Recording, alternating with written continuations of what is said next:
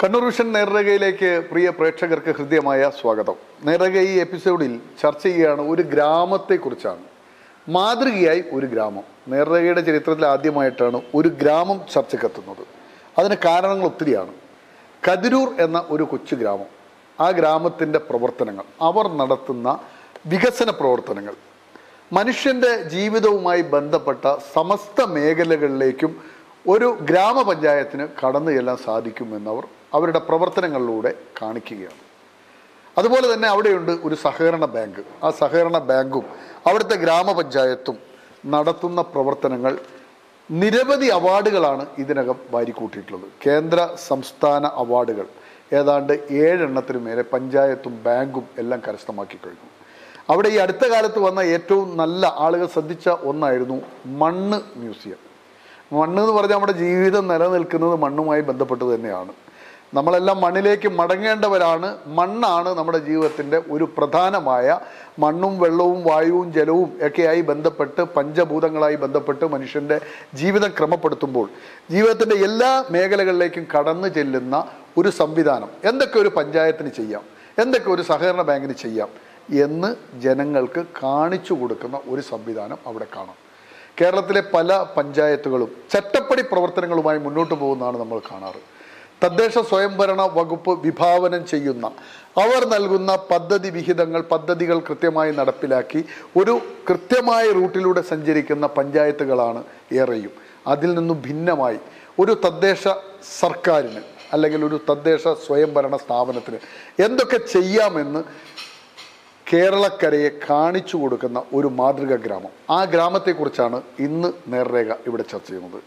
ആ ഗ്രാമത്തിന്റെ പഞ്ചായത്ത് പ്രസിഡന്റ് കതിരൂർ ഗ്രാമപഞ്ചായത്ത് president Shri P P Sanil ഈ ചർച്ചയിൽ പങ്കെടുക്കാൻ ഇവിടെ എത്തിയിട്ടുണ്ട്. അതുപോലെ തന്നെ കതിരൂർ സർവീസ് സഹകരണ ബാങ്കിന്റെ പ്രസിഡന്റ് ശ്രീജിത്ത് ചോയൻ. ഒപ്പം നമ്മൾ ഈ മണ്ണ് മ്യൂസിയം പറഞ്ഞല്ലോ. ആ ആ ഒരു വിഷയം ആ ഗ്രാമത്തെ വളരെ നല്ല നിലയ്ക്ക് കൊണ്ടുപോകാൻ അവിടുത്തെ അധികൃതർക്ക് കഴിഞ്ഞു. അതുമായി ബന്ധപ്പെട്ട് ഇവിടെ ചർച്ചയിൽ പങ്കെടുക്കാൻ എ. രതി ദേവി. അവർ അസിസ്റ്റന്റ് ഡയറക്ടറാണ് സോയിൽ സർവേ.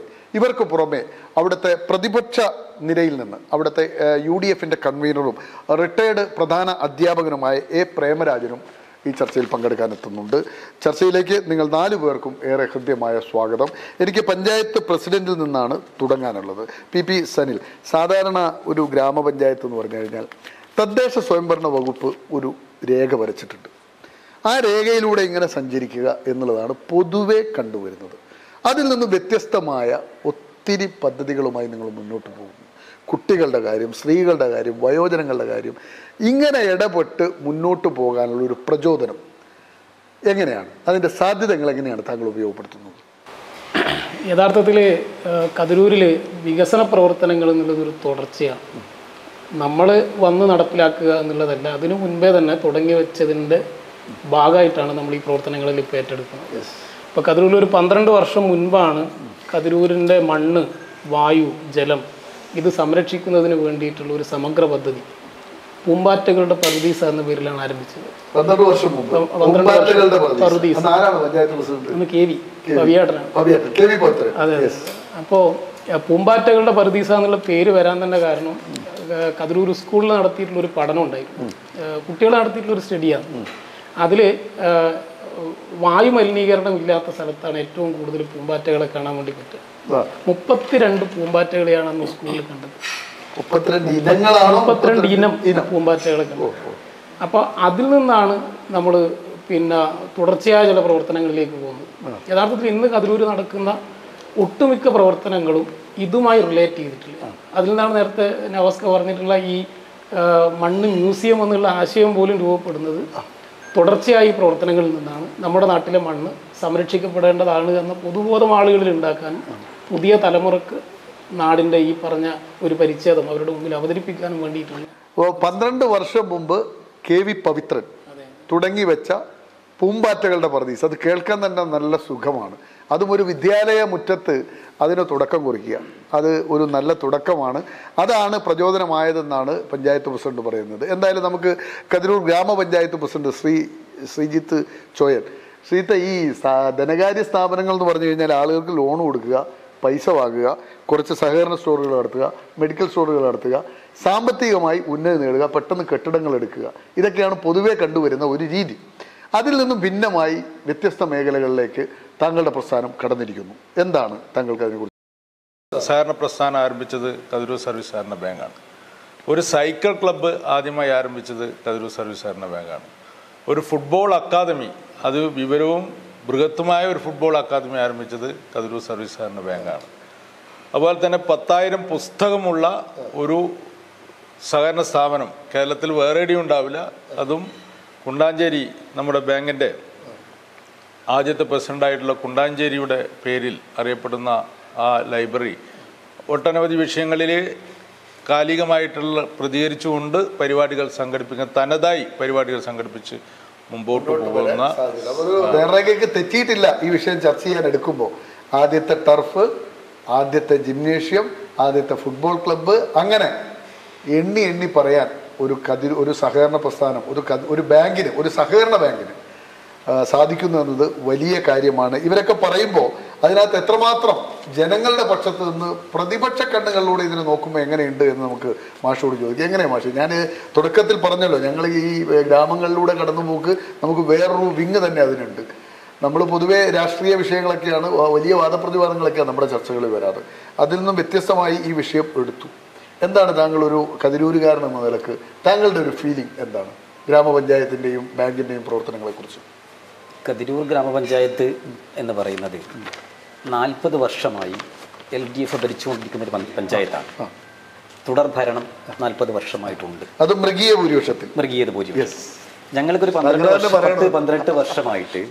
പ്രതിപക്ഷ നിരയിൽ ആരും തന്നെ ഇല്ല. പക്ഷെ ഞാനിവിടെ കതിരൂർ പഞ്ചായത്തിനെ സംബന്ധിച്ചിടത്തോളം നിരവധിയായ വികസന പരിപാടികൾ നടന്നിട്ടുണ്ട്. പക്ഷെ അടിസ്ഥാനപരമായ വികസനത്തെക്കുറിച്ചാണ് ഞാൻ പറയുന്നത്. അപ്പോൾ നമുക്കറിയാലോ ഗ്രാമസ്വരാജ് വന്നു. അത് പാർലമെന്റിൽ അവതരിപ്പിക്കപ്പെട്ടു. അപ്പോൾ രാജീവ് ഗാന്ധിയാണ് അത് അതിനെ തുടക്കം കുറിച്ചത്. അപ്പോൾ തൊണ്ണൂറ്റിനാലിൽ അത് പാർലമെന്റിൽ അവതരിക്കപ്പെട്ടപ്പോൾ അത് ഗ്രാമങ്ങളിലേക്ക് വന്നു സ്വാഭാവികമായിട്ടും. അപ്പോൾ ഗ്രാമങ്ങളിലേക്ക് വരുമ്പോൾ നമുക്ക് അറിയാലോ നമുക്കതിന്റെ വികസനത്തിന്റെ നന്ദി കുറിക്കുന്നത് ഗ്രാമ ഗ്രാമസഭയാണ്. അപ്പോൾ ഗ്രാമസഭയിൽ നിന്ന് അത് പിന്നെ ഓരോന്ന് ഓരോന്നായി പിന്നെ വന്നു. എന്നിട്ട് നമ്മൾ മൊത്തം പഞ്ചായത്തിന്റെ പിന്നെ കേന്ദ്ര പതിനെട്ട് വാർഡുകളുണ്ട് ഇപ്പോഴും ആ പതിനെട്ട് വാർഡുകളിൽ നിന്നും അത് ശില്പശാലയായി സംഘടിപ്പിക്കപ്പെട്ട് അതിനുശേഷം നമ്മൾ എന്ത് ചെയ്യുന്നു? ഒരു വികസന സെമിനാർ സംഘടിപ്പിക്കുന്നു. അപ്പോൾ ആദ്യകാലങ്ങളിലെല്ലാം തന്നെ ഗ്രാമസഭയിൽ സജീവ സാന്നിധ്യം ഉണ്ടായിരുന്നെങ്കിലും പിന്നീട് മെല്ലെ മെല്ലെ നമ്മൾ കുറഞ്ഞു വന്നു. എങ്ങനെ ഗ്രാമസഭകൾ നടക്കുന്നില്ല? ഉദാഹരണത്തിന് പറയുകയാണെങ്കിൽ ഇപ്പോൾ അല്ല ഗ്രാമസഭകൾ നടക്കുന്നില്ല. നടക്കുന്നുണ്ട്. ആരുടെ സാന്നിധ്യം കുറയുന്നു? പൊതുവെ മൊത്തത്തിലുള്ള സാന്നിധ്യം ജനങ്ങളുടെ സാന്നിധ്യം ജനങ്ങളുടേതല്ല. ഉത്തരവാദപ്പെട്ട ഉത്തരവാദപ്പെട്ട ആളുകളുടെ പ്രസിഡന്റ് വരുന്നില്ല പഞ്ചായത്ത് മെമ്പർ? നമ്മൾ ഗ്രാമത്തിൽ വരുമ്പോൾ ഒരു ഗ്രാമസഭയിൽ വാർഡ് മെമ്പറാണ് അതിന് നേതൃത്വം. കൊടുക്കുമ്പോൾ ഇപ്പൊ നമ്മളിപ്പോ ഉച്ചയ്ക്ക് ശേഷമാണ് ഗ്രാമസഭ ഉണ്ടാവുക. അപ്പോൾ ഒരു പ്രത്യേക ദിവസം നമ്മളോട് പറയും ഗ്രാമസഭ ഉണ്ടെന്ന് പറയുമ്പോൾ നമുക്ക് ഉത്തരവാദപ്പെട്ട ആളുകൾക്ക് ചിലപ്പോൾ അതിന്റെ അകത്ത് എന്ത് ചെയ്യാൻ പറ്റില്ല പങ്കെടുക്കാൻ പറ്റിയില്ല അതുകൊണ്ട് എന്തെങ്കിലും കുഴപ്പം വന്നിട്ടുണ്ടോ? കുഴപ്പം വരുമ്പോൾ എങ്ങനെയാണെന്ന് പറഞ്ഞാൽ നമുക്ക് ഉത്തരവാദപ്പെട്ട ഗ്രാമങ്ങളിൽ വരുന്ന കുറേ കാര്യങ്ങൾ. ചില റോഡ് റോഡ് നമുക്ക് നമ്മുടെ നാട്ടിനെ സംബന്ധിച്ചിടത്തോളം നമുക്കിപ്പം കാർഷിക മേഖല എടുക്കുമ്പോൾ. ഇപ്പൊ കാർഷിക മേഖല എടുക്കുമ്പോൾ നമുക്കറിയാം കതിരൂർ പഞ്ചായത്തിന്റെ ഒരു കാർഷിക തലസ്ഥാനമാണ് പുണ്യം ബഹുമാനപ്പെട്ട പ്രസിഡന്റ് താമസിക്കുന്ന ഇടും അവിടെയാണ്. അപ്പൊ അവിടെ നല്ല സമ്പന്നമായ വയലുകളുണ്ട് അവിടെ. പ്രസിഡന്റിന്റെ തൊട്ടടുത്തുണ്ട്. അവിടെ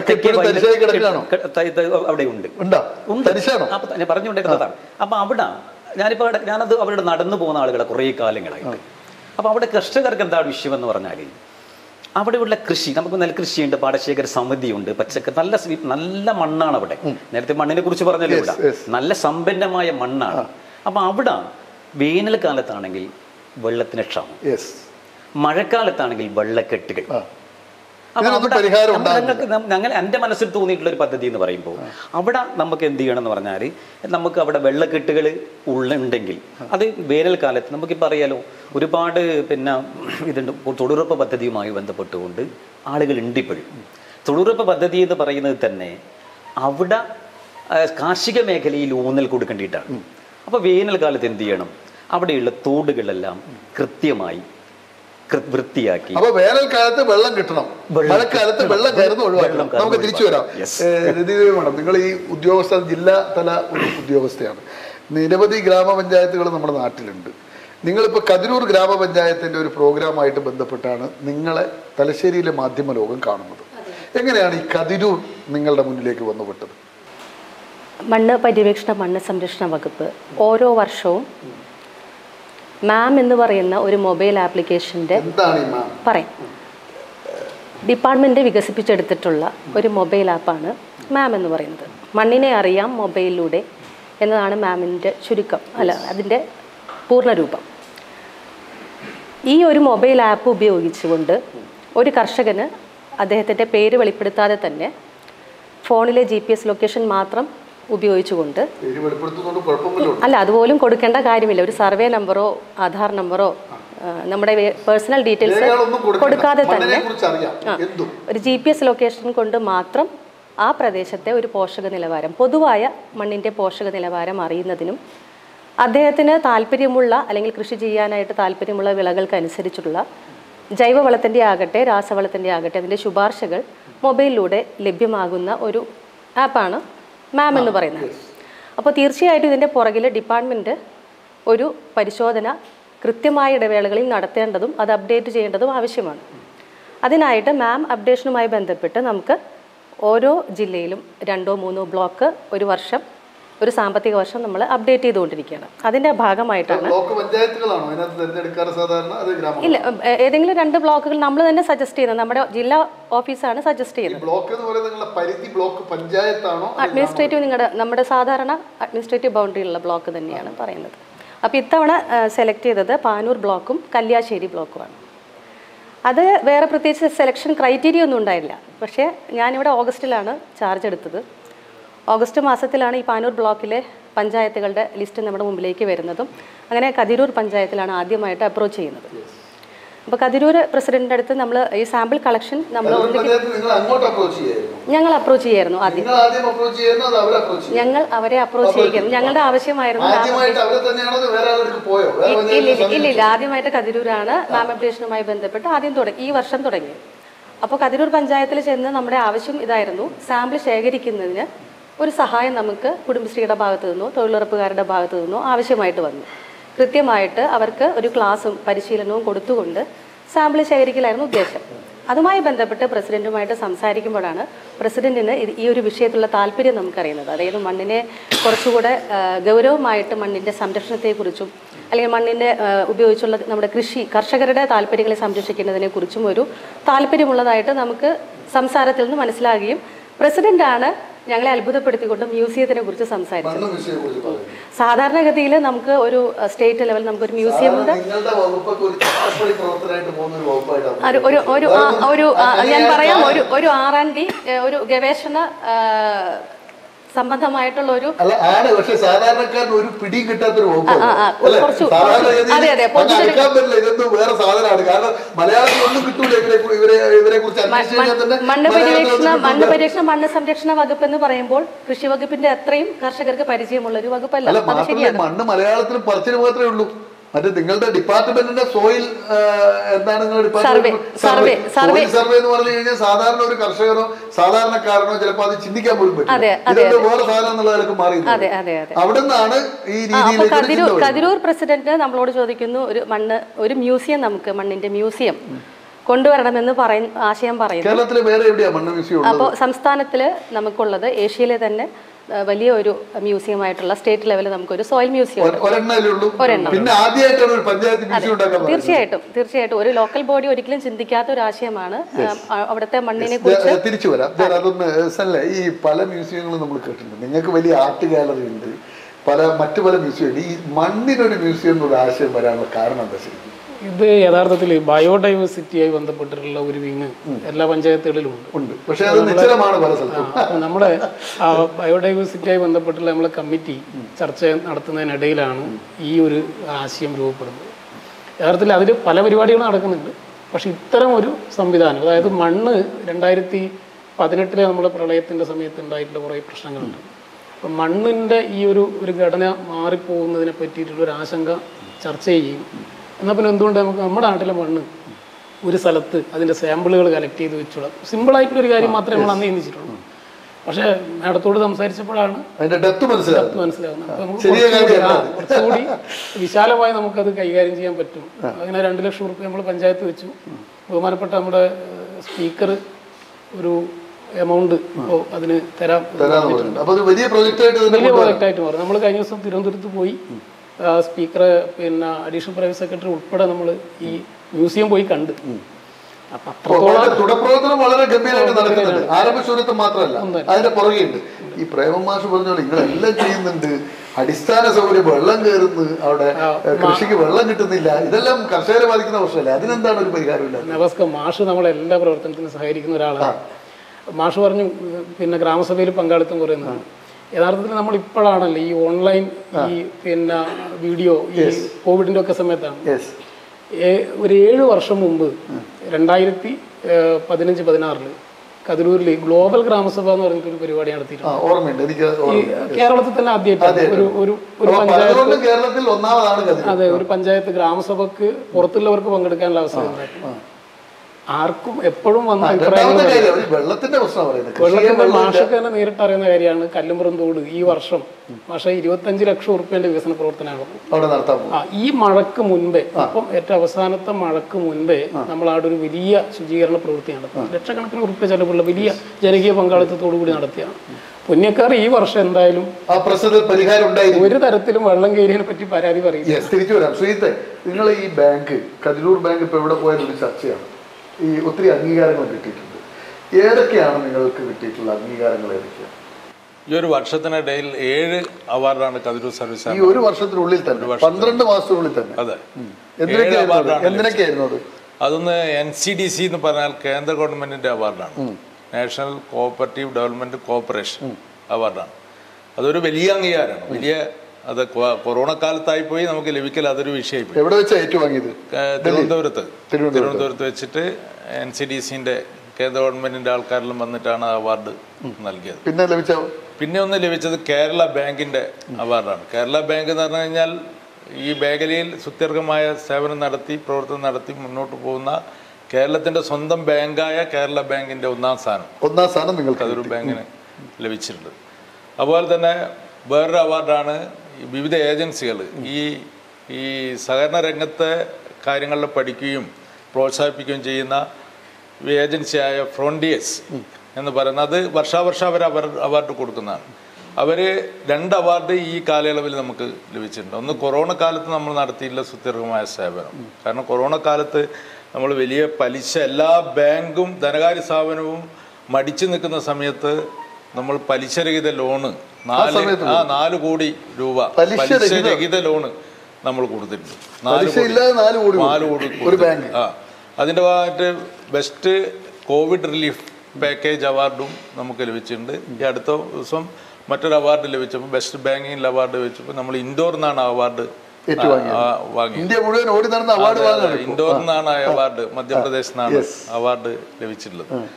പിന്നെ വിവിധ കേരള സർക്കാരിന്റെ അവാർഡ് ലഭിച്ചിട്ടുണ്ട്. അതുപോലെ തന്നെ നമ്മുടെ ജില്ലാ പഞ്ചായത്തിന്റെ അവാർഡ് എന്നാലും പറഞ്ഞ് വിവിധ അവാർഡുകളുള്ള എത്ര ശാഖകളാണ് നിങ്ങളെ ബാങ്കിനുള്ളത്? പതിനൊന്ന് ബ്രാഞ്ച് എന്തൊക്കെ സംവിധാനങ്ങളാണ് ഒരു സഹകരണ ബാങ്ക് എന്ന് പറഞ്ഞാൽ ഇപ്പോഴും പഴയ പോലെ റെസിറ്റ് എല്ലാം എഴുതി ക്യാഷ്ലെസ്സിലേക്ക് പോവാണ്. പോവാണ്. ക്യാഷ്ലെസ്സിലേക്ക് അതായത് ഇന്നത്തെ കാലത്ത് ക്രിപ്റ്റോ കറൻസിയിൽ അതിന്റെ അകത്തേക്ക് പോവാണ്. വിവിധ അതായത് ആ രീതിയിലേക്ക് കാര്യങ്ങൾ പോവാണ്.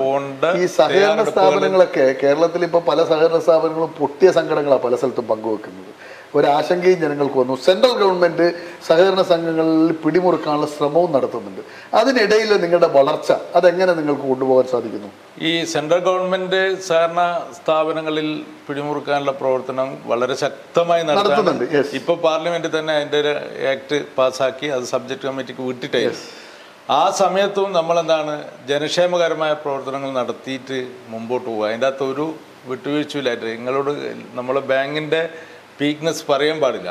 അതായത് ഇന്ന് ഈ പ്രാവശ്യവും കഴിഞ്ഞ പ്രാവശ്യവും എനിക്ക് തോന്നുന്നു ഏറ്റവും ലാഭത്തിൽ പ്രവർത്തിക്കുന്ന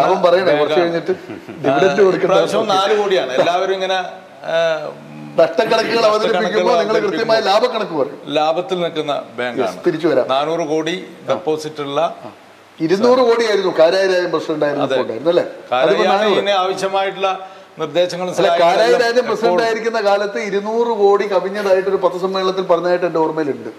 ശ്രീത്ത് വന്നപ്പോൾ നാനൂറായി. നാനൂറ്റി ഒന്ന് കോടി ഒന്ന് കോടി. പ്രസന്റ് ആണ് ചെറിയ സംഭവമല്ല. ഏ കേരളം വിലക്ക് വാങ്ങും ഇങ്ങനെയാണെങ്കിൽ. യെസ് പ്രേമേഷ് നിങ്ങൾക്കിപ്പോൾ ഇദ്ദേഹം നൽകിയ ഒരു ഉറപ്പ് താങ്കൾ കേട്ടില്ല. ഒരു പഞ്ചായത്ത് പ്രസിഡന്റിന്റെ ഒരു കരുത്ത് ഈ വർഷം മുതൽ നിങ്ങൾ ആ പ്രശ്നം നേരിടില്ല എന്നാണ് പറയുന്നത്. എന്താ തോന്നുന്നു നിങ്ങൾക്ക്? ഞാൻ ഉദ്ദേശിക്കുന്നത് ഇപ്പം പ്രസിഡന്റ് ഞങ്ങളായിട്ട് നല്ല സൗഹൃദത്തിൽ നല്ല എല്ലാ കാര്യങ്ങളും ചർച്ച ചെയ്യുന്ന അതിന് ആളാണ്. നാൽപ്പത് നാൽപ്പത് വർഷമുള്ള ഒരു പഞ്ചായത്താണ്. നാൽപ്പത് വർഷമായിട്ട് തുടർ ഭരണം കിട്ടുന്ന ഒരു പഞ്ചായത്ത്. ഇപ്പോഴും പ്രസിഡന്റ് പറയുന്നു ആവാം എന്നേ പറയുന്നു. നാൽപ്പത് വർഷം ഒരേ കക്ഷിക്ക് അത് ഭരിക്കാൻ കഴിയുന്നുണ്ടെങ്കിൽ അത് അവർക്ക് ജനങ്ങൾ നൽകുന്ന ഒരു അംഗീകാരമല്ല? അത് അതിന്റെ ഉള്ളിൽ കുറെ ചില കാര്യങ്ങളുണ്ട്. നേരത്തെയൊക്കെ ഞങ്ങൾ പന്ത്രണ്ട് വർഷം മുന്നേ ഒക്കെ ഞങ്ങൾക്ക് അവിടെ യു ഡി എഫ് അംഗങ്ങളുണ്ട്. എത്ര പേരുണ്ടായിരുന്നു? ഞങ്ങൾ അഞ്ചു പേരും ഒക്കെ ഉണ്ടായിരുന്നു അവിടെ വാർഡിന്റെ ചില പ്രത്യേകതകളുണ്ടല്ലോ. വാർഡ് ക്രമീകരിക്കുമ്പോൾ അതിന് പ്രസിഡന്റൊക്കെ അറിയാം എന്തുകൊണ്ടാണെന്നല്ല. ആ ക്രമീകരിക്കുമ്പോൾ ആ. ക്രമീകരണത്തിൽ ചില ക്രമീകരണത്തിൽ ചില മാറ്റങ്ങൾ ഉണ്ടാക്കുന്നു. ഇപ്പൊ നേരത്തെ എന്റെ വാർഡിൽ ഞാൻ നിൽക്കുന്ന എന്റെ ആറാം വാർഡിൽ നേരത്തെ ഞങ്ങൾ ഒപ്പത്തിനൊപ്പം ഉണ്ടായിരുന്ന വാർഡുകളാണ് പക്ഷെ പിന്നെ ഒരു തറി വന്നപ്പോ അത് അനുകൂലമാക്കി മാറ്റി. ഇവിടെ. ഒരു ഗ്രാമപഞ്ചായത്തിനെ സംബന്ധിച്ചിടത്തോളം കറക്റ്റായിട്ട് കിട്ടും എങ്ങനെ എങ്ങനെയൊക്കെ മുറിക്കണം എന്നൊക്കെ. പക്ഷെ അത് ഇവിടുത്തെ എന്റെ വിഷയം അത് ഇവിടുത്തെ അല്ല താങ്കൾ പറഞ്ഞു നാൽപ്പത് വർഷം അത് വിഷയമല്ല എന്ന് പറയുമ്പോൾ ഒരു കുഴപ്പമുണ്ട്. നാൽപ്പത് വർഷമായിട്ട് വാർഡിന്റെ ഭൂരിപക്ഷത്തിൽ ഒരു ഇടതുപക്ഷം അവിടെ ഭരിക്കുന്നു. അപ്പൊ അത് നാൽപ്പത് വർഷമായി ഭരിക്കുന്നു എന്ന് പറയുമ്പോൾ ജനങ്ങൾ വോട്ട് ചെയ്യാതെ നമുക്ക് ഭരിക്കാൻ. പറ്റും അപ്പൊ അത് അവർക്ക് കിട്ടുന്ന അംഗീകാരമാണ്. ഈ യു ഡി എഫ് എന്ന സംവിധാനത്തിന് അത് പൊളിക്കാൻ സാധിക്കുന്നില്ലെങ്കിൽ അത് രാഷ്ട്രീയമായിട്ടുള്ള പരാജയമാണ്. പരാജയം അങ്ങനെയല്ല അതൊരു ടെക്നിക്കൽ വർക്കാണ് അങ്ങനെയാണ് കേരള രാഷ്ട്രീയത്തിൽ യു ഡി എഫും എൽ ഡി എഫും നെക്കൻ നെക്കായിട്ട് ഞാൻ പറയുന്നത് അങ്ങനെയല്ല. ഞാൻ പറയുന്നത് ഞാനിപ്പോ അത് ഇവിടുത്തെ ഒരു വിഷയമല്ല പക്ഷെ ഞാൻ ഉദ്ദേശിക്കുന്നത് നാൽപ്പത് വർഷമായിട്ട് തുടർഭര തുടർഭരണമുള്ള ഒരു സംഘടന അല്ലെങ്കിൽ ഒരു പാർട്ടി നാൽപ്പത് വർഷമായിട്ട് പോലും ഞാൻ ഞാൻ ജനപക്ഷത്തു നിന്ന് സംസാരിക്കുന്നത് ഇതിപ്പോൾ വികസനങ്ങൾ നടന്നിട്ടില്ല വ്യത്യസ്തമായ ഒരുപാട് പദ്ധതികൾക്ക് അതിലൂടെ നടക്കും സത്യം. പക്ഷെ ജനപക്ഷത്ത് നിൽക്കുമ്പോൾ ജനങ്ങൾക്ക് അടിസ്ഥാനപരമായി ഒരുപാട് പ്രയാസങ്ങൾ ഉണ്ട്. പറയാം. കതിരൂരിൽ നമുക്ക് ഇപ്പൊ കതിരൂർ പഞ്ചായത്ത് എന്ന് പറയുന്നത് പ്രധാനപ്പെട്ട കുറെ കേന്ദ്രങ്ങളുണ്ട്. ജനവാസ കേന്ദ്രം. അത് ഒന്ന് നയനാർ റോഡ് ഒന്ന് കതിരൂരിൽ ഒന്ന് കതിരൂർ ടൗണ് കതിരൂർ അഞ്ചാം മൈൽ വേറ്റുമ്മൽ റോഡിലാണ്. നമുക്കറിയാം നമ്മുടെ ശുചിത്വ കേരളം എന്ന് പറഞ്ഞ പദ്ധതിയുമായി വളരെ ബഹുദൂരം മുന്നോട്ട് പോയ ഒരു പഞ്ചായത്താണ് കതിരൂരിൽ. പക്ഷേ ഈ- നാല് സ്ഥലങ്ങളിലും ഒരു കൃത്യമായ ഒരു കോമൺ ടോയ്ലറ്റ് സൗകര്യം ഇന്നില്ല അവിടെ. ഞാൻ ഉദ്ദേശിക്കുന്നത് നയനാർ റോഡിൽ എഞ്ചിനീയറിംഗ് കോളേജിൽ ഒരുപാട് കാര്യങ്ങൾ ഒരുപാട് കുട്ടികൾ. അപ്പൊ അവിടെ അടിസ്ഥാനപരമായി ഒരു ഒരു കുട്ടിക്ക് പെട്ടെന്ന് ടോയ്ലറ്റ് പോകണം എന്നുള്ള എവിടെയാണ് എവിടെയാ പോവുക കുട്ടികൾ വളരെ ഗൗരവമേറിയ ഒരു വിഷയമാണ്. വളരെ ഗൗരവം എന്താണ് പ്രസിഡന്റ് അതിന് പറയാനുള്ളത്? ഈ നാല് കേന്ദ്രങ്ങളും തലശ്ശേരി കൂർഗ് റോഡിലാണ്. ഒന്ന് മാത്രമേ പൊന്നിയമ്പാലം വിട്ട് അപ്പുറത്തേക്ക് പോകുന്നുള്ളൂ. ബാക്കിയെല്ലാം നമ്മുടെ ഹൈവേ തന്നെയാണത്. എന്ന് പറഞ്ഞാൽ എയർപോർട്ട് റോഡാണ്. ആ, നമസ്കാരം. മാഷ് നേരത്തെ പറഞ്ഞതിനകത്ത് വാർഡ് വിഭജനത്തിന്റെ സാങ്കേതികത്വം നിൽക്കട്ടെ. എഴുപത്തി രണ്ട് ശതമാനം വോട്ടാണ് നിലവിൽ ഇടതുപക്ഷം. ഇടതുപക്ഷം. അപ്പൊ പിന്നെ ഒരു സാധ്യതയില്ല. അപ്പൊ ആ വാർഡ് വിഭജനമായിട്ട് കണക്ട് ചെയ്യേ വേണ്ട. രണ്ടാമത്തത് കതിരൂർ ടൗണിൽ ഈ പറഞ്ഞ പ്രശ്നമില്ല. അവിടെ പൊതു ടോയ്ലറ്റ് ഉണ്ട് പിന്നെ പൊതു ടോയ്ലറ്റ് എന്തോ ഹോട്ടലായി മാറി എന്നൊക്കെ പറഞ്ഞ് വലിയ വാർത്തകളൊക്കെ വന്നിരുന്നല്ലോ. അത് ഒരു ഒരു സ്വാഭാവികമായിട്ടും നവാസ്ക ഒരു വിഷയം ഒരു വാർത്ത അവതരിപ്പിക്കുമ്പോൾ വസ്തുതയുമായി ചേരുന്ന വാർത്ത വാർത്തയാണ് ടോയ്ലറ്റ് അവിടെ ഹോട്ടലായി എന്നുള്ളത് വസ്തുതയാണ്. തെറ്റാണ്. ഹോട്ടൽ ടോയ്ലറ്റ് ടോയ്ലറ്റ് ഹോട്ടലായിട്ടില്ല. നിങ്ങൾക്ക് ഇപ്പൊ വന്നു കഴിഞ്ഞാൽ ടോയ്ലറ്റ് ബസ് ഷെൽട്ടർ ആണോ നിങ്ങൾക്ക് ഇപ്പൊ ഹോട്ടൽ കൂട്ടി. ഹോട്ടൽ കൂട്ടി. അതല്ല. അത് വളരെ തെറ്റായ ഒരു എന്താണ്? അതൊന്ന് കറക്റ്റ് ചെയ്യണം. കാരണം എല്ലാരും അന്നേരം ഇത്രയും നല്ലൊരു പഞ്ചായത്ത് എന്തിനാണ് പോയിട്ട് തങ്ങളുടെ ഈ കംഫർട്ട് സ്റ്റേഷൻ കൊണ്ടുപോയിട്ട് ഹോട്ടലാക്കി മാറ്റിയത്? അത് വലിയ വലിയ വിവാദമായിരുന്നു. നവാസ്ക ഒരു കാര്യം ടോയ്ലറ്റിന്റെ ഒരു കല്ല് പോലും മാറ്റിയിട്ടില്ല.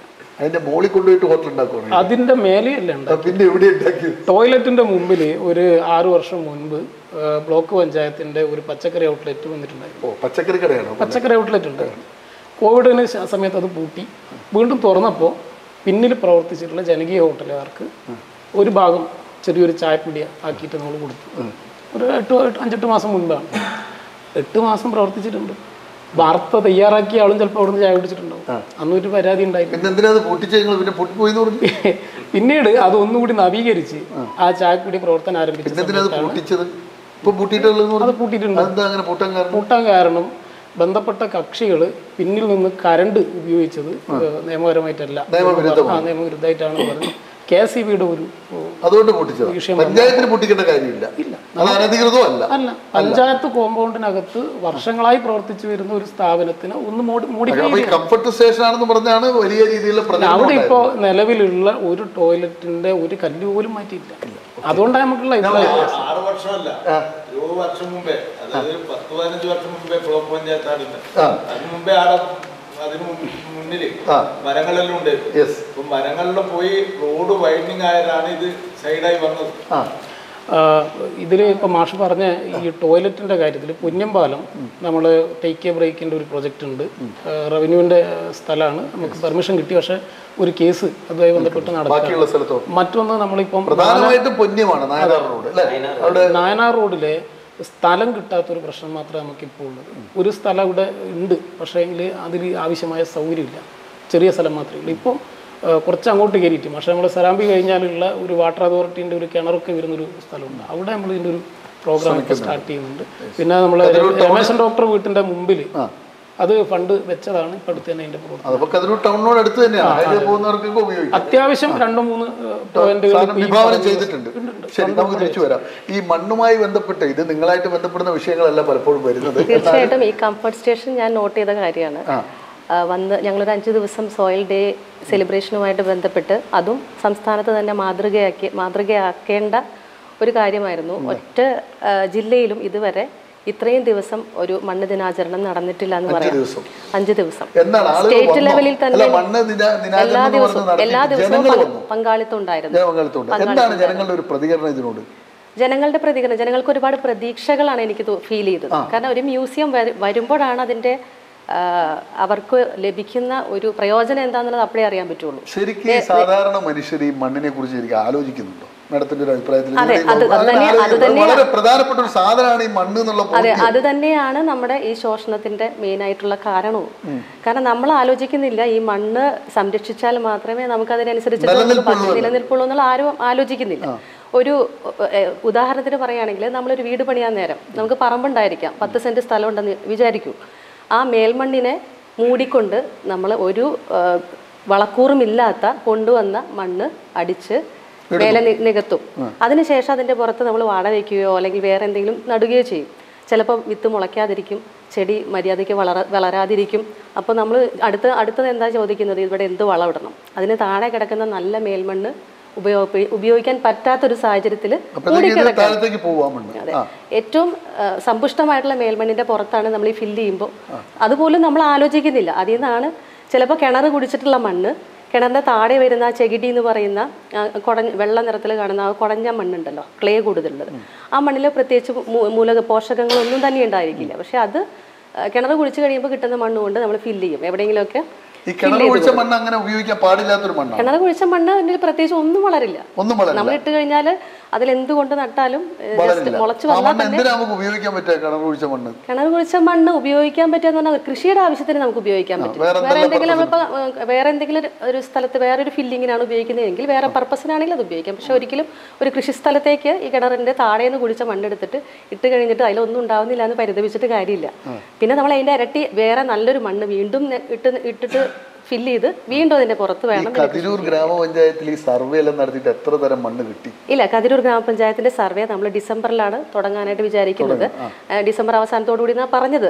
പക്ഷേ നമുക്ക് ഇതിന്റെ അല്ല അതിന്റെ സാങ്കേതിക ഈ മ്യൂസിയവുമായിട്ട് ബന്ധപ്പെട്ടാണ് ഫീൽഡ് വർക്കും കൂടെ അതിൽ നമ്മൾ വിഭാവനം ചെയ്തിട്ടുള്ളത്. അപ്പോൾ അതിന്റെ ഒരു അനുമതി കിട്ടേണ്ട ഒരു സാങ്കേതിക അനുമതിയും നമുക്ക് അലോട്ട്മെന്റും എല്ലാം കൂടെ അതിനകത്ത് ഞങ്ങളുമുണ്ട് ശ്രീത്തെ ഇപ്പൊ പറഞ്ഞല്ലോ ഈ ഈ ബാങ്ക് എത്ര വർഷത്തെ പാരമ്പര്യമുള്ള ബാങ്കാണ് ശരിക്കും? ഏത് ഇയറിലാണ് തുടങ്ങുന്നത്? അമ്പത്തി ആറിൽ അമ്പത്തി ആറിൽ അപ്പൊ എഴുപത്തഞ്ച് വർഷം പിന്നിടുകയാണ്. എഴുപത്തിയഞ്ച് വർഷം പിന്നിടുകയാണ്. ഇപ്പൊ എത്ര ജീവനക്കാരുണ്ട് നിങ്ങളുടെ ബാങ്കിൽ? നൂറ്റി ഇരുപത്തി ഒമ്പത് ജീവനക്കാർ നൂറ്റി ഇരുപത്തി ഒമ്പത് എല്ലാം പെർമനന്റ് ജീവനക്കാരാണോ? അല്ല അതിന്റെ അകത്ത് ഒരു നൂറോളം പെർമനന്റ് ജീവനക്കാരാണ് ഈ ബാങ്കിന്റെ എല്ലാ പ്രോഗ്രസ്സിന് പിറകിലും ജീവനക്കാരുടെ ഒരു ഒറ്റക്കെട്ടായിട്ടുള്ള പ്രവർത്തനം അതിന് ഗുണമായിട്ടുണ്ട് നമ്മളിപ്പം ഇപ്പോൾ ഏറ്റവും അവസാനം ഒരു കാര്യം തീരുമാനിച്ചിട്ടുണ്ട്. ആ. തീരുമാനം പരിപാടി ഇന്നലത്തെ മഞ്ഞാത്തെ പത്രത്തിലും വന്നിട്ടുണ്ട്. എന്താ പ്രോഗ്രാമിന്റെ പേര് എന്ന് പറഞ്ഞാൽ മണ്ണില്ലെങ്കിൽ എന്താ മട്ടുപ്പാവ് മതി എന്ന് പറഞ്ഞിട്ടുള്ള ഒരു ക്യാപ്ഷനോട് കൂടിയുള്ള പരിപാടി. എന്ന് പറഞ്ഞാൽ സ്വന്തമായി മണ്ണില്ലെങ്കിലും മട്ടുപ്പാവ് നമുക്കൊരു പൂങ്കാവനമാക്കി മാറ്റാം.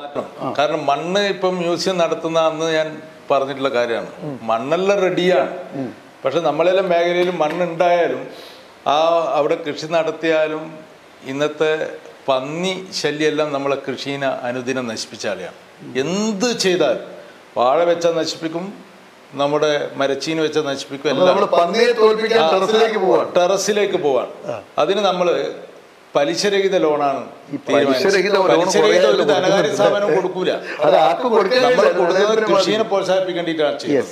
കാരണം പത്തായിരം രൂപ നമ്മൾ കർഷകർക്ക് കൊടുക്കൂല അത്. കർഷകർ ലോണായിട്ട് കൊടുത്താൽ ആ പൈസ നമ്മൾക്ക് മുപ്പത്തിയൊന്ന് കാർഷിക ഗ്രൂപ്പ് ഉണ്ട് അതിന്റെ അകത്ത് ഒരു കർഷക ഗ്രൂപ്പാണ്. എത്ര എത്ര ഗ്രൂപ്പുകൾ ഓരോന്നും? ഒരു പത്തും പതിനഞ്ചും നാൽപ്പത് വരെയുള്ളത്. ഇപ്പം കൂടമ്പയിൽ ഒരു കർഷക ഗ്രൂപ്പ് ഉണ്ട് പ്രവാസി തളിർ കർഷക ഗ്രൂപ്പ് എന്ന പേര്. അവർ മാതൃകാ പ്രവർത്തനം. ചെറുപ്പക്കാരെ ഈ മേഖലയിൽ പിടിച്ചു നിർത്തുന്നത് കണ്ടിട്ട് അതിശയം തോന്നുന്നതാണ്. അവർക്ക് അവാർഡെല്ലാം ലഭിച്ചിട്ടുണ്ട്. അവർ ഈ നാൽപ്പത് ചെറുപ്പക്കാരും ആ പാടത്തെത്തണം. വൈകുന്നേരം പണിയും കഴിഞ്ഞിട്ട്. ഓരോ സ്വന്തം പണിയും കഴിഞ്ഞിട്ട് നാൽപ്പത് ചെറുപ്പക്കാരും എത്തണം. വൈകുന്നേരം വന്ന് ഉപ്പിടണം. അങ്ങനെയാണ് അവർ കൃഷി അതെല്ലാം നടക്കുന്നുണ്ടല്ലേ നാട്ടിൽ? അല്ലേ? പലപ്പോഴും വാക്കിൽ മാത്രമാണ് ഡീപ്പായി ഇറങ്ങി ഇതൊന്നും കാണൂല. പക്ഷെ ഇവർ വളരെ ഡീപ്പായി ഈ കാര്യങ്ങളെല്ലാം ചെയ്യാണ്. ഒരു കാട് പോലെ സ്ഥലത്ത് എടുത്തിട്ടാണ് അവർ കൃഷി ചെയ്യുന്നത്. അവരെയാണ് ഇത് ഏൽപ്പിച്ചിട്ടുള്ളത്. അവർ നാൽപ്പത് ചട്ടി അതായത് മൺചട്ടി. മണ്ണ് നിറച്ച് തൈ മുളപ്പിച്ചിട്ടുള്ള ചട്ടി വീട്ടിൽ കൊണ്ടുപോയി ഫിറ്റ് ചെയ്തു. ആ ഫിറ്റ് ചെയ്ത് കൊടുക്കും. അവർക്കാണ് ഇത് കൊടുക്കുന്നത്. കൊള്ളാം. അതൊരു വലിയ പ്രവർത്തനമായിട്ട് നമ്മൾ നോക്കുകയാണ്. ജനുവരിയിലാണ് സ്റ്റാർട്ട് ചെയ്യുന്നത്. ചെയ്യാൻ വേണ്ടി ഉദ്ദേശിക്കുന്നത്. നമുക്ക് തിരിച്ചു വരാം. പ്രേമനാഥ് മാഷക്ക് ഇനിയും ന്യൂനതകൾ ചൂണ്ടിക്കാണിക്കാനുണ്ടാവും അങ്ങനെ പ്രതിപക്ഷത്തിന്റെ പണി തന്നെ അതാണ്. താങ്കൾ പറഞ്ഞ ആദ്യത്തെ കാര്യത്തിനും രണ്ടാമത്തെ കാര്യത്തിനും കൃത്യമായ മറുപടി ചെയ്യുമെന്ന് പറയുന്നുണ്ട്. ഇത് ടെലികാസ്റ്റ് ചെയ്ത ഇടയ്ക്ക് ചോദിക്കാലോ നിങ്ങൾക്ക്? ചെയ്തോ ഇല്ലയോ എന്ന് മ- ആ. അങ്ങനെയല്ല. അല്ല. പ്രസിഡന്റ് വന്നിട്ട് രണ്ട് വർഷമായി. പുതിയ ഭരണസമിതി വന്നിട്ട് രണ്ട് വർഷമായിട്ടാണ് ഞാൻ നേരത്തെ സൂചിപ്പിക്കുന്ന നാൽപ്പത് വർഷമായിട്ടുള്ളതാണ്. ഇപ്പോൾ കതിരൂരിൽ നമ്മളിപ്പോൾ നാൽപ്പത് വലിയൊരു പഞ്ചായത്ത്. ആ പഞ്ചായത്ത് പുറമെ നിന്ന് വന്നാൽ ഒരു കുറച്ച് ആളുകൾ വരുന്നു. നമുക്ക് കതിരൂർ പഞ്ചായത്തിൽ അവിടെ ഇന്നതൊക്കെ കാര്യങ്ങൾ കാണിച്ചു കൊടുക്കാൻ വൺ ബൈ വൺ ആയി. നമുക്ക് ഇന്നതൊക്കെ ചെയ്തിട്ടുണ്ട് എന്ന് സ്പെസിഫിക് ആയിട്ട് കൊണ്ട് കാണിച്ചു കൊടുക്കാനുള്ള പരിപാടികൾ എന്താണ് കതിരൂർ ഉദാഹരണം കതിരൂർ സർവീസ് കോപ്പറേറ്റീവ് ബാങ്ക്. നമിക്കുന്ന ഉദ്ദേഹത്തെ ഞാൻ. ഒരുപാട് പദ്ധതികൾ അദ്ദേഹം അവർ നടപ്പാക്കുന്നുണ്ട് അവിടെ അവിടെ ഒരു സാഹിത്യ. അല്ല ബി ബിക്ക് അദ്ദേഹത്തിന്റെ പേരിൽ എന്ത് ചെയ്യുന്ന ഒരു അവാർഡ് ഏർപ്പെടുത്തുന്നു. അദ്ദേഹം നാട് മുഴുവൻ ഏറ്റെടുക്കുന്നു. അവിടെ എനിക്ക് തോന്നുന്ന ഒരു അയ്യ- അയ്യായിരം രൂപ കിട്ടുന്ന ഒരു സ്ഥാനത്ത് ഒരു ബുക്ക് ബുക്ക് ഔട്ട്ലെറ്റ് അവിടെ ഉണ്ടാകുന്നു. അങ്ങനെ വ്യത്യസ്തമായ ഒരുപാട് പരിപാടികൾ നടപ്പാക്കുമ്പോൾ ഇവിടെ നമുക്കറിയാലോ ഹാസ്യ സാമ്രാട്ട് സഞ്ജയൻ ന്റെ പ്രസിഡന്റിന്റെ വീടിനടുത്താണ് അദ്ദേഹത്തിന്റെ ഇത്. അതിനെ ഒന്ന് പ്രോത്സാഹിപ്പിക്കാനോ ഇന്നത്തെ തലമുറയ്ക്ക് അതിനെ ഒന്ന് കാട്ടിക്കൊടുക്കാനോ ഉള്ള പദ്ധതികളില്ല. അതേ അവസരത്ത് കതിരൂർ ബാങ്ക് ചെയ്യുന്നു അത്. വി വി കി ആരാണെന്ന് ഇന്നത്തെ ചെറിയ കുട്ടികൾക്കറിയാം. സഞ്ജയൻ ആരാണെന്ന് നമ്മളെ കുട്ടികൾക്കറിയില്ല. അത്തരം കാര്യങ്ങളിൽ വലിയ ശ്രദ്ധ ഉണ്ടാകേണ്ടതുണ്ട് അപ്പോൾ ഞാൻ അവിടെ എന്റെ തുടക്കം. ഞങ്ങളൊക്കെ പറയുന്ന വേദി എന്ന് പറയുന്നത് വികസന സെമിനാറാണ് സെമിനാറാണ്. അത്തരം വികസന സെമിനാറുകളിൽ ഇപ്പം ഞാൻ പറയാം ഉത്തരവാദപ്പെട്ട അതിന്റെ ഇംപ്ലിമെന്റ് ഓഫീസർ എന്ന് പറയുന്നത് അതിന്റെ പഞ്ചായത്ത് സെക്രട്ടറിയാണ് അപ്പോൾ ആ വികസന സെമിനാർ വരുമ്പോൾ സെക്രട്ടറി ഞങ്ങളെ രാഷ്ട്രീയ പാർട്ടിക്കാരായ ഉത്തരവാദപ്പെട്ട ആളുകൾക്ക് ലെറ്റർ തരുന്നു. സാർ എനിക്ക് ലെറ്റർ വിളിച്ചു തന്നെ ഒരു ഒരാഴ്ച മുന്നേ. ഇങ്ങനെ റിമൈൻ ചെയ്തുകൊണ്ടേയിരുന്നു തന്നെ സാർ വരണം വരണം. അതിന്റെ ലൊക്കേഷൻ അയച്ചു തന്നു. ഞാൻ കൂടി എത്തി. ഞാൻ നേരത്തെ നാല് അമ്പതിന് കൂടി എത്തി. പക്ഷെ അങ്ങനെ ഒരു വികസന സെമിനാറിൽ വ്യത്യസ്തമായ കാഴ്ചപ്പാടോട് വലിയ കാഴ്ചപ്പാടോട് കൂടി കാണുന്ന ഭരണസമിതി ഞങ്ങളെയൊക്കെ എന്ത് ചെയ്യണം? അതിനൊക്കെ ഉൾപ്പെടുത്തണം. ഉൾപ്പെടുത്തുന്നില്ല. ഉൾപ്പെടുത്തണം എന്ന് പറഞ്ഞാൽ ചിലപ്പം പ്രസിഡന്റ് ആരോടെങ്കിലും പറയും തലേന്ന് വിളിച്ചിട്ട് ഇതാ ഇങ്ങനെ പരിപാടി ഉണ്ട് എന്ന് അല്ലെങ്കിൽ ഞങ്ങൾ എന്ത് ചെയ്യണം? ഒരു ഉത്തരവാദപ്പെട്ട ഒരു നമുക്കറിയാം ഇംപ്ലിമെന്റിംഗ് അതോറിറ്റി അത് കാര്യനിർവഹണ ഉദ്യോഗസ്ഥൻ സെക്രട്ടറി അദ്ദേഹത്തിന്റെ ലെറ്റർ പേഡിൽ എഴുതി ഒരു രാഷ്ട്രീയ പാർട്ടി കൊടുക്കുമ്പോൾ ഞങ്ങളെ രാഷ്ട്രീയ പാർട്ടി അവിടെയുള്ള ഉത്തരവാദപ്പെട്ട ആളുകൾ ആ പരിപാടിയിൽ ആര് പങ്ക് എല്ലാ പരിപാടിയിൽ എല്ലാവർക്കും പങ്കെടുക്കാൻ പറ്റില്ലല്ലോ. അല്ല പങ്കെടുക്കാൻ പറ്റില്ലല്ലോ. അപ്പോൾ സാർ ഒന്നുകൂടി പങ്കെടുക്കാൻ പറ്റില്ലല്ലോ. അപ്പോൾ ആ പരിപാടി വികസന സെമിനാറിൽ ആരൊക്കെ പങ്കെടുക്കും നേരത്തെ തീരുമാനിക്കപ്പെടണം അത് പ്രിപ്പയർഡ് ആവണം. അപ്പോൾ നിങ്ങൾ അറിയിക്കണം. യെസ് യെസ് മറുപടി. അല്ലേ ഇതെന്റെ പ്രശ്നം അറിയാം ഒന്നാമത്തേൽ നിങ്ങൾ മൃഗീയ ഭൂരിപക്ഷത്തിൽ ഭരിക്കുന്നു. ഈ പറയുന്ന ആളുകളെ അങ്ങോട്ട് അടുപ്പിക്കുന്നില്ല. പിന്നെ ബാങ്ക് ആണെങ്കിൽ കാര്യങ്ങൾ കാര്യങ്ങൾ നടപ്പിലാക്കുന്നത് ബാങ്കാണ്. പഞ്ചായത്തിന് പറയാൻ സഞ്ജയൻ എന്ന ലോക അറിയുന്ന ആ ഹാസ്യ സാമ്രാട്ടിന് പോലും റോളില്ല. നിങ്ങളുടെ വീടിന്റെ അടുത്താന്നാ പറയാം എന്താ പ്രസിഡന്റ് പറയാനുള്ളത്? അത് ഒന്നാമത്തെ കാര്യം മാഷ് എനിക്ക് തോന്നുന്ന ഒരു ചാനൽ ചർച്ച ആയതുകൊണ്ട് കുറച്ച് കാരണം ഒരു ഉദാഹരണം പറഞ്ഞാൽ ഇപ്പൊ ഈ തിങ്കളാഴ്ചയാണ് വികസന സെമിനാർ. ഞാൻ ഹരിയാട്ടിന്റെ അടുത്ത് ഹരിയാട്ടിന്റെ അടുത്ത് എനക്കൊന്നൊരു നാല് ദിവസം മുൻപ് വികസന സെമിനാറിന്റെ കാര്യം സംസാരിച്ചിട്ടുണ്ട്. ഞാൻ അപ്പോൾ ഞാൻ പറഞ്ഞിട്ടുണ്ട്. പിന്നെ വികസന സെമിനാറിന്റെ കത്ത് വിതരണം ചെയ്തുകൊണ്ടിരിക്കുക. സ്വാഭാവികമായിട്ടും മാഷ അടയിൽ കോൺഗ്രസിന്റെ പ്രധാനപ്പെട്ട ആളാണ് ഹരിയാട്ടൻ. ഹരിയാട്ടന്റെ അടുത്ത് നാല് ദിവസം മുമ്പ് ഞാൻ ഈ കാര്യം സംസാരിച്ചിട്ടുണ്ട്. ഇത്രാം തീയതിയാണ് നിങ്ങൾ കാരണം അവിടെ. അവിടെ ഇല്ല. ബി ജെ പി ഇല്ല. ഇല്ല. കോൺഗ്രസ് തന്നെയാണ് കാര്യം കോൺഗ്രസ്. കോൺഗ്രസ് തന്നെയാണ് പിന്നെ മാഷ് പറഞ്ഞിട്ടില്ല. അറിയിക്കാറുണ്ട്. അല്ല അതിലെന്താ കാര്യം എന്ന് പറഞ്ഞാൽ നമ്മളതിന്റെ- അല്ലല്ല. അതായത് ഞങ്ങൾക്കൊരു അറിയിപ്പ് എന്ന് പറയുന്നത് ഞാൻ ഉത്തരവാദപ്പെട്ട അറിയിപ്പ് എന്ന് പറയുന്നത് പ്രസിഡന്റ് പ്രസിഡന്റ് ഒന്നും തരണ്ട. അതിന് ഉത്തരവാദപ്പെട്ട ആളുണ്ട് അവിടെ. സെക്രട്ടറിക്ക് എന്ത് ചെയ്യാം? അറിയില്ലല്ലോ അത്? ആരൊക്കെ കൊടുക്കണം? അതൊക്കെ ഇവിടെ രാഷ്ട്രീയക്കാരല്ലേ അവിടെ ഉള്ളത്? അപ്പൊ ആർക്കൊക്കെ കൊടുക്കണം എന്ന് പ്രസിഡന്റ് നിർദ്ദേശിച്ചാൽ അത് ലെറ്റർ ചെയ്ത് അറിഞ്ഞു അതെനിക്കറിയില്ല പക്ഷെ ഞങ്ങൾ ഇപ്പൊ ഞാൻ ഞങ്ങൾ ഇപ്പൊ ഞങ്ങളിപ്പോ ഈ പരിപാടിക്ക് വരുന്നതും അതുപോലെ തന്നെ ഞങ്ങളും അവിടെ പോവുക എനിക്ക് ഒരുപാട് പദ്ധതികളെ കുറിച്ച് സമർപ്പിക്കാനുണ്ടാവും ചിലപ്പോ. ഞാൻ വികസന സെമിനാറിൽ പങ്കെടുത്തില്ല കതിരൂർ പഞ്ചായത്തിന്റെ വികസന സെമിനാറിൽ അദ്ദേഹം ഞാൻ പറയുന്നത് വേണ്ടത്ര ഗൗരവത്തിൽ നിങ്ങൾ ഈ ആട്ടും കൈകൊണ്ട് സലാം പോരാന്നാണ് പറയുന്നത്. കൃത്യമായി ക്ഷയിക്കാൻ വേണം. ക്ഷണിക്കണം കൃത്യമായിട്ട്. കോൺഗ്രസിന്റെ നമ്മൾ സാധാരണ ഏത് പരിപാടിക്കും കോൺഗ്രസിന്റെ അറിയിക്കുന്നത്? ഹരിയാട്ടനാണ്. അപ്പൊ രണ്ട് ഗ്രൂപ്പാണ് അത് കോൺഗ്രസിലെ? അല്ല അങ്ങനത്തെ ഗ്രൂപ്പ് പ്രശ്നങ്ങളില്ല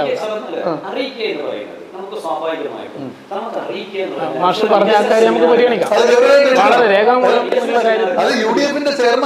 ഞാൻ ഞാൻ പറയും. ഞാൻ ഈ പദ്ധതി നവാസ് ഈ പദ്ധതിയിൽ വിളിച്ച് പരിപാടിക്ക് വിളിച്ചപ്പോൾ ഞാൻ കുറച്ചൊന്ന് പ്രിപ്പയർ ആവൂലേ? എന്തൊക്കെയാണ് കതിരൂറിന്റെ ഞാൻ വ്യത്യസ്ത മേഖല സമസ്ത മേഖലയിലും പല ആളുകളുമായിട്ട് ചർച്ച ചർച്ച ചെയ്തു. അത് കാർഷിക മേഖലയും മറ്റു കാര്യങ്ങളും ഒക്കെ ഉണ്ട് ഒരുപാട് കാര്യങ്ങൾ സൂചിപ്പിക്കും. പക്ഷെ സമയത്തിനായിട്ട് നമുക്ക് കഴിയില്ല. അപ്പൊ അത് അവിടെ സമയം എന്ത് ചെയ്തു? വളരെ കുറവാണ്. ഹരിയേട്ടന് പ്രസിഡന്റിന്. കൊടുക്കുമ്പോൾ പ്രസിഡന്റ് ഓരോ കാര്യങ്ങളും ചർച്ച ചെയ്തിട്ട് ആ പരിപാടിയിൽ ഇന്നയാൾ പങ്കെടുക്കണം. ഒരു നിയമവുമായി ബന്ധപ്പെട്ട നിങ്ങൾ കൃത്യമായി മാറ്റി നിർത്തുന്നുണ്ട് പ്രസിഡന്റ് അല്ലേ? അങ്ങനെ ആവാം അതെ അല്ലേ? അങ്ങനെ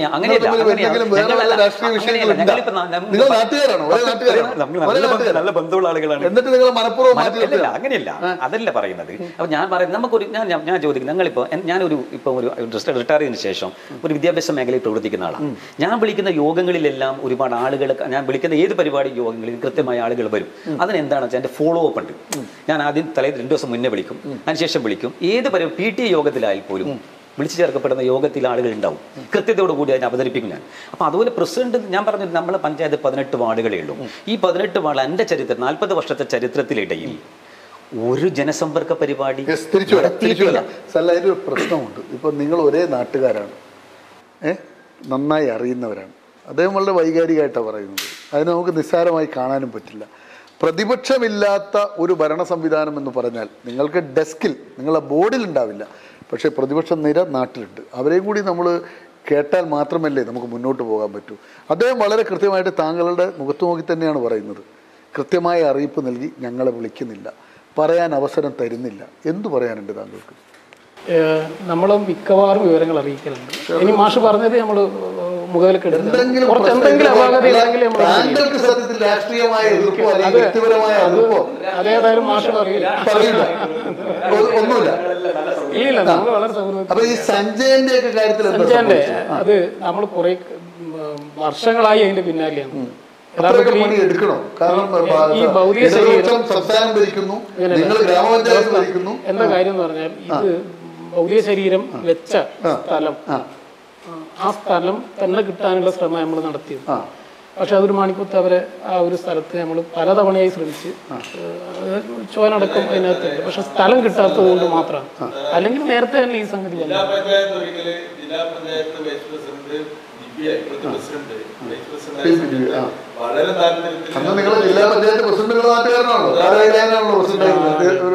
വളരെ താല്പര്യത്തോടുകൂടി അതിന്റെ പിറകിൽ പോയത്. ഈ സ്ഥലം കിട്ടാത്തൊരു വിഷയമാണ്. ചിലപ്പോ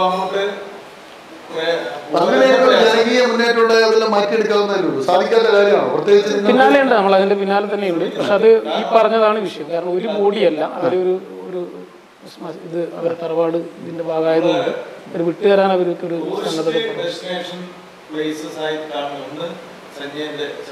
തിരിച്ചു വരാം.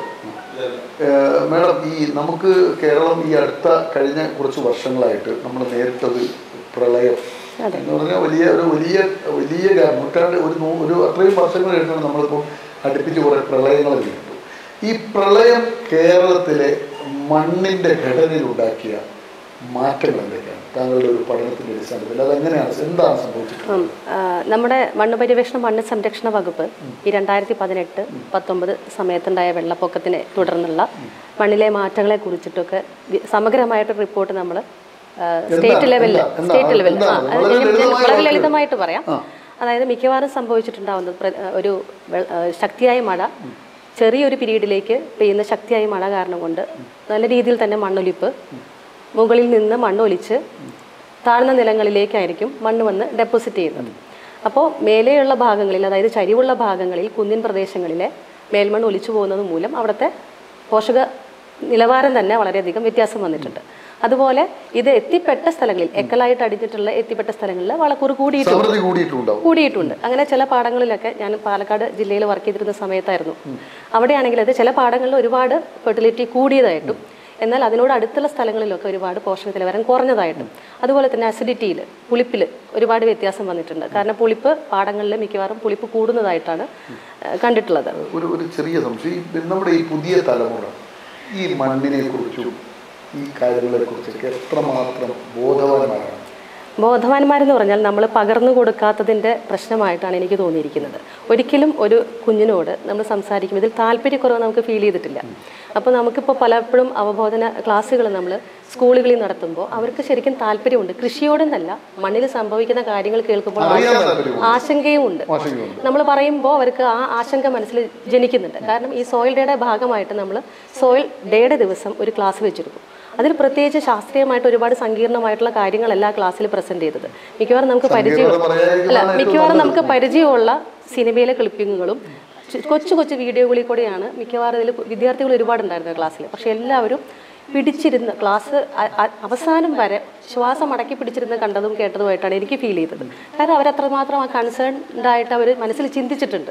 ഇത് കണ്ടപ്പോൾ നമുക്ക് ഭാവി നം- ഇങ്ങനെ പോയി കഴിഞ്ഞാൽ ഭാവി നമ്മുടെ സുരക്ഷിതമല്ല എന്നുള്ളൊരു ഫീലിംഗ് അവരുടെ ഉള്ളിൽ വന്നിട്ടുണ്ട്. അപ്പം നമ്മൾ പകർന്നു കൊടുക്കാത്തതും നമ്മൾ അവരെ കൊണ്ടുവരാത്തതും ഈ നിരയിലേക്ക് കൊണ്ടുവരാത്തതും ഈ മ്യൂസിയം മ്യൂസിയത്തിന്റെ ഉദ്ദേശം ഒക്കെ അത് തന്നെയാണ്. കതിരൂരുള്ള ഒരു ഗ്രാമത്തിലെ കുട്ടികളോ ജനങ്ങളോ മാത്രമല്ല നമ്മുടെ ഉദ്ദേശം. അതിനടുത്തുള്ള പഞ്ചായത്ത് നമ്മളിപ്പം ഈ അനുമതി ലഭിച്ചു കഴിഞ്ഞാൽ ഒരു മൂന്നോ നാലോ മാസമാണ് നമ്മൾ ഉദ്ദേശിച്ചു ഉദ്ദേശിച്ചത് ഉദ്ദേശിച്ചിട്ടുള്ളത്. അതെ, പഠിച്ച് അതെ. ഒരു കേരളത്തിലെ രണ്ടാമത്തെ മ്യൂസിയം അതെ കേരളത്തിലെ ലോക്കൽ ബോഡി ചെയ്യുന്ന ആദ്യത്തെ മ്യൂസിയം. എനിക്ക് തോന്നുന്നു ഇന്ത്യയിൽ തന്നെ ഒരു പക്ഷേ ഒരു തദ്ദേശ സ്വയംഭരണ സ്ഥാപനം ചെയ്യുന്ന ആദ്യത്തെ ഉദ്യമമായിരുന്നു. സമാധാനമുണ്ട്. സാധാരണ ഈ ഇത്തരം ചർച്ചകളിൽ മുമ്പ് ഇരുപക്ഷത്തെ രാഷ്ട്രീയ നേതൃത്വങ്ങൾ വളരെ ശക്തമായി ഏറ്റുമുട്ടുന്ന കാഴ്ചയാണ് ഞങ്ങൾ കണ്ടിട്ടുള്ളത്. ഇത് വ്യത്യസ്തമാണ്. വളരെ ശാന്തമായിട്ടാണ് യു ഡി എഫിന്റെ ചെയർമാൻ കൺവീനർ. കാര്യങ്ങൾ അവതരിപ്പിക്കുന്നത്. ചിരിച്ചുകൊണ്ട് തന്നെ പ്രസിഡന്റ് മറുപടിയും പറയുന്നു. കടന്നു പോകാൻ ഇനിയുമുണ്ട്. ഒത്തിരി കാര്യങ്ങൾ. കതിരൂർ പഞ്ചായത്ത് നടപ്പിലാക്കിയ സ്ത്രീകളുടെ സുരക്ഷ സംബന്ധിച്ച കാര്യങ്ങളുണ്ട്.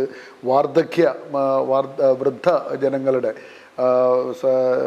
ഉന്നമനത്തിനായി ചെയ്ത കാര്യങ്ങൾ ഉൾപ്പെടെ കുറേ മേഖലകളിലേക്ക് കടന്നു പോകാനുണ്ട്. പക്ഷേ സമയം പരിതം പരിമിതമാണ്. ഒത്തിരി മുന്നേറ്റങ്ങൾ നടത്തിയ ഒരു ഗ്രാമത്തിലൂടെയുള്ള യാത്രയാണ് ഞങ്ങൾ നടത്തിയിട്ടുള്ളത് അതിൽ ഏറ്റവും ശ്രേഷ്ഠമായത് മണ്ണ് മ്യൂസിയം തന്നെയാണ്. മണ്ണാണ് നമ്മുടെ നിലനിൽപ്പിന്റെ അവിഭാജ്യ ഘടകം എന്ന ബോധ്യമുള്ളത് കൊണ്ട് തന്നെ. ഇനി മണ്ണ് മ്യൂസിയം വന്നതിന് ശേഷം നമുക്ക് നേരിലേക്ക് വീണ്ടും ഇതുപോലെ ഒന്ന് ഒത്തുചേരാൻ പ്രസിഡന്റ് പറഞ്ഞ കാര്യങ്ങളൊക്കെ നമുക്ക് അന്ന് വീണ്ടും ഒന്നുകൂടി അവലോകനം ചെയ്യാം. ചർച്ചയിൽ പങ്കെടുത്ത നാലു പേർക്കും നേരേഖയുടെ നന്ദി. നമസ്കാരം.